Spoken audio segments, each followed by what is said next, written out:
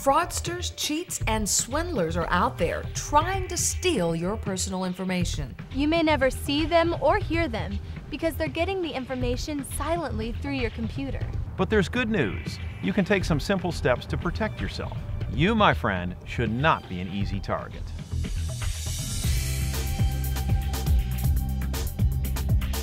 First, you should know the tools used to steal personal information. Phishing. Great for the lake, but not in your computer. Fraudsters will attempt to acquire usernames, passwords, and credit card details by masquerading as a trustworthy person or a company contacting you by email. Malware, short for malicious software, helps hackers disrupt computer operations, gather sensitive information, or gain access to a computer system. Swindlers constantly tweak these tools, making them more difficult to detect and more lucrative if they get access to your information. Keeping your internet security software as up to date as possible protects against the latest threats that have been discovered. Set your computer to automatically update your security software as updates become available. Don't respond to pop up messages or unsolicited emails asking you to protect your computer, especially those that claim they've detected a problem. They're trying to trick you into downloading their malware so they can either charge you for worthless software or make a clear pathway to access your information. If you don't know who's sending you these emails, don't click on them and download their malware.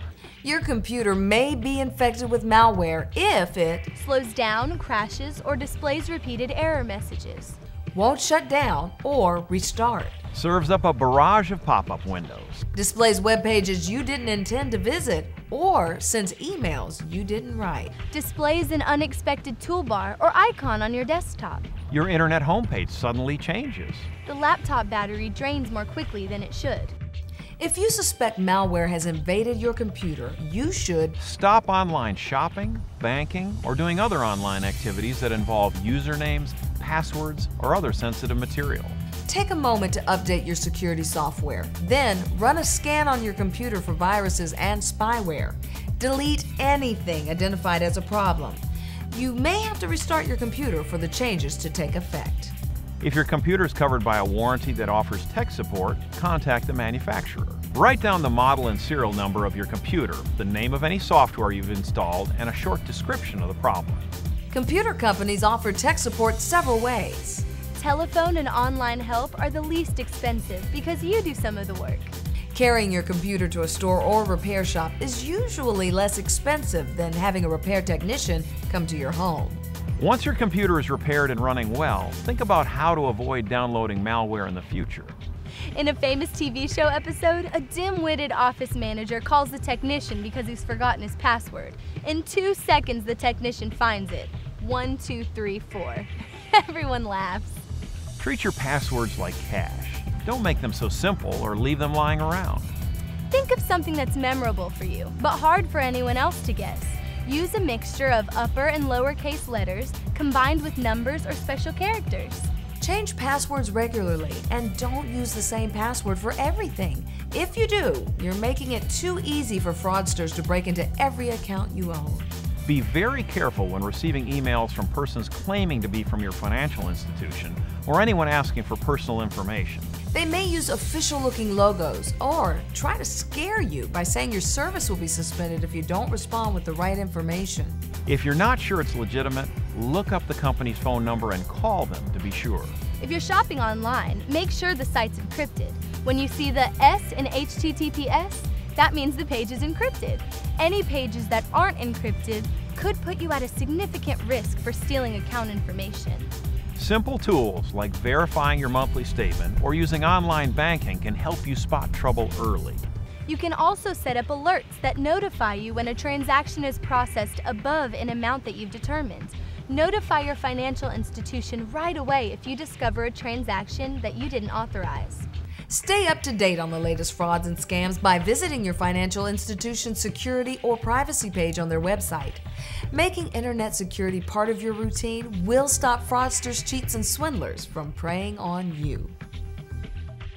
Business accounts need even higher levels of internet protection. Be sure that firewalls, anti-malware, and antivirus software are all up to date and working properly together, preventing unauthorized access to your network.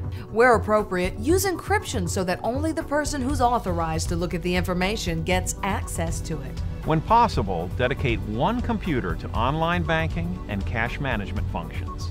This computer should not be used for internet surfing, social networking, or email functions. Using this computer for those purposes increases the chances of malware or viruses. Educate all users about vulnerabilities so they understand that even one infected computer can spread serious trouble to the entire network. Pay attention when checking your mail. Always ask, does this email make sense? Don't open suspicious emails or ones that originate from unknown persons. Take extra caution with emails that appear to be from a financial institution or ask for personal information.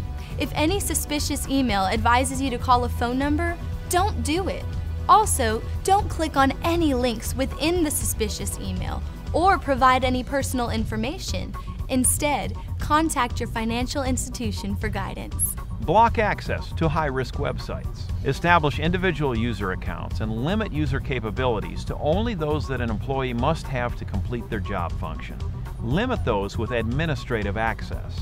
Require complex user passwords, upper, lowercase, numbers, and special characters. Change them on a regular basis. Quickly remove users whose employment has been terminated. Use dual control measures to limit actions that can be completed by a single employee. Finally, reconciling accounts every day with online tools can identify questionable activity very quickly. Making internet security part of your regular routine will protect you and your business.